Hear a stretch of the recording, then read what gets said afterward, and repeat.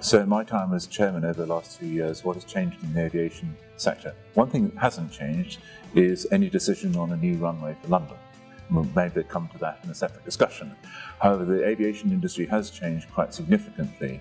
Um, uh, for some things for the good and some things for the bad. For the good, airlines are now making money. Uh, if airlines make money is good because then they can actually invest in, in their equipment and such like. Uh, there's been strong growth uh, around the world generally um, particularly in, the, in Asia, Middle East, and in South America, and, and, and consolidation of airlines as well. And that's been, that's been strengthening for the airlines and the airports. We need a new runway now. We needed a new runway 10 years ago, actually. And so to have it done for 2025, which is probably the earliest time, is, is, is important. Now, Mott MacDonald have been working with Heathrow Airport in the development of their plans uh, for many years. And our chairman, uh, Keith Howells, has put his name and name behind that publicly.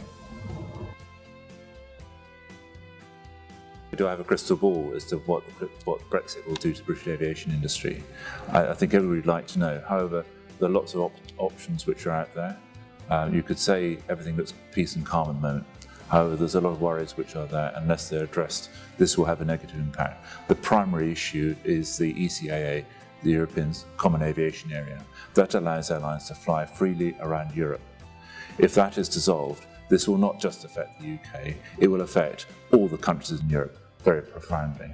It means that there will be fewer routes, higher fares for everybody across Europe. So this is really, really important.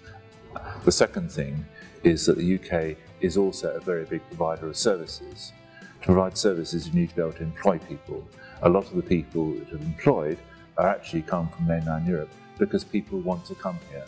London is a really attractive place to employ people and, and we are able to get the best people from across Europe to actually to work for British companies because they like working for British companies. We need to continue that.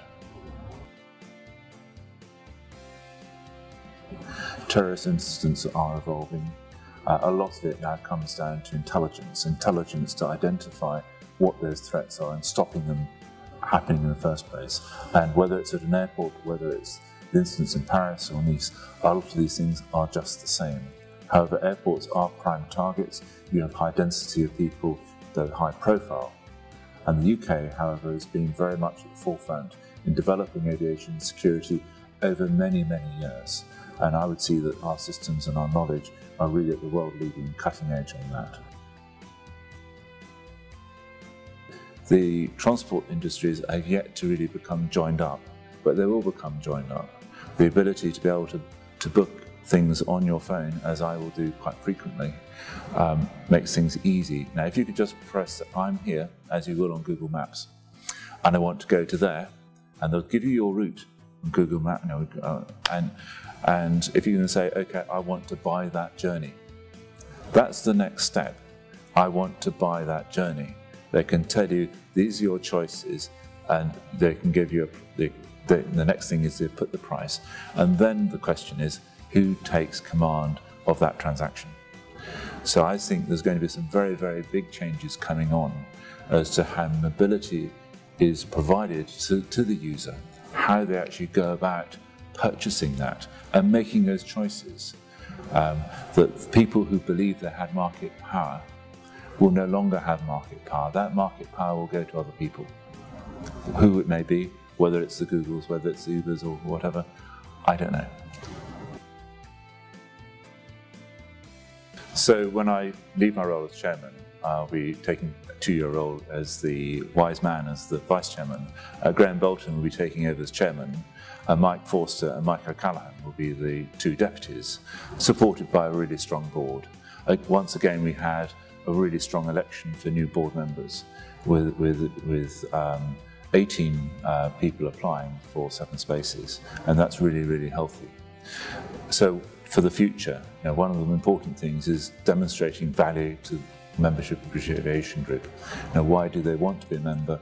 and for the board to demonstrate that they're really getting value out of it. I think also we're going to be having some really, really interesting times with Brexit, with all the trade issues, close relationships with the new Department for International Trade, and we've already had meetings with them because this is going to really stamp our future in the next two years.